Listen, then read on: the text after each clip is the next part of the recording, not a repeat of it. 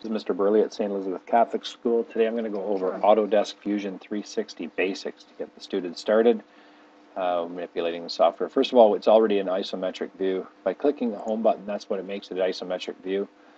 We got the top view, back to isometric. We can look at the front view, back to ISO, and so on. The nice thing is, one of the nice features is this. You click on front view, and I can now rotate it this way and this way by clicking, clicking these ones. Get lost, just bring it back. To zoom in and out, of course, it's the standard uh, with the uh, mouse button. You can turn this grid off too if you want to down here. I'm leaving it on, I like it. Shift key down, middle mouse button down, and that's how we orientate. So if you want to flip it upside down and zoom in and work on the bottom, that's how you do it.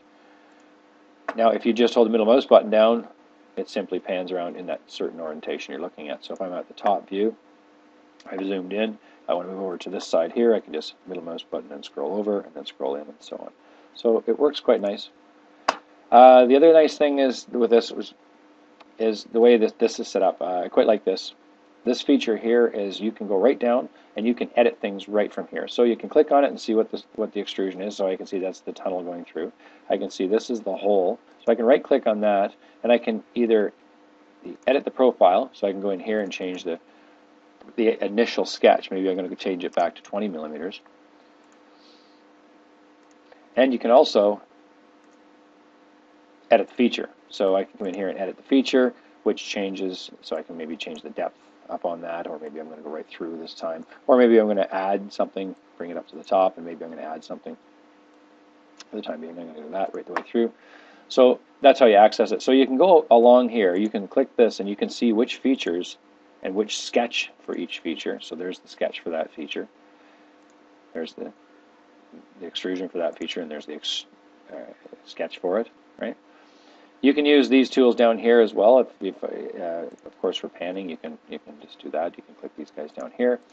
Now, the display style. Come down to the display style down here. We've got visual display. We can do shaded. We can do shaded with edges, hidden edges, shaded with. You can do wireframe if you like. All all the display styles. Personally, I like to work shaded with edges. That's not that one. Sorry. I like to do this one. I find it easier. Visible edges only, and then when I rotate through, it's not quite so confusing. Over here, we have the, um, if you click model later on, we'll get into this. This is the cam and simulation and so on. But up in here, click this file, this one. This is, of course, my project. Uh, these ones in here will be the students' projects. Um, they are backed up on the on the computer as well as on the cloud. Really nice having them on the cloud because you come in one morning, you lose a hard drive. Uh, it's not catastrophic. It's all still there. The other nice thing is any computer you go on, you can bring up your files. So you can be at home at night, show your parents what you're working on at school the next day. So that's quite a nice feature. The, this is, of course, the save feature, which is a standard. There's nothing uh, magical about that. Some stuff in there we'll get into a little later. Down here, this is nice too. This is, you, you click these guys down, you can turn everything, you can turn things off and on. So you can go into, turn off your off and on your dis, your datums, you can turn them on and off and on, your datum planes. You can come into here and turn off the bodies, shut off the, the bodies. So if you've got more than one thing you're working on, it's becoming confusing, you can shut it off.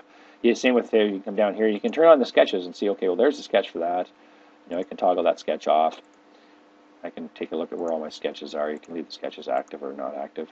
Uh, if you've traced an image, if you've, uh, say you're drawing the side of a car or something and you've traced it, you can then come over here and turn that off and on, which is another nice feature.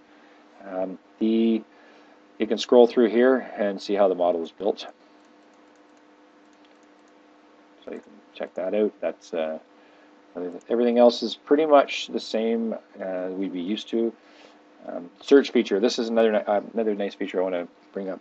If you're having any problems and Mr. Burley's busy helping somebody else, you can come up here and you can. There's all different stuff in here, but you can go into here and you can do a search on whatever you like, and it'll give you lots of really good information. This search feature is really, really well done. It's very well supported. Supported. It's not like other ones where you got to click on search and then you know figure out from there where you got to go. It, it does a pretty good job. So there is that. Um, I think that's basically it we'll go through in this video. Um, the next video will be drawing basics and so on. And uh, thank you for watching.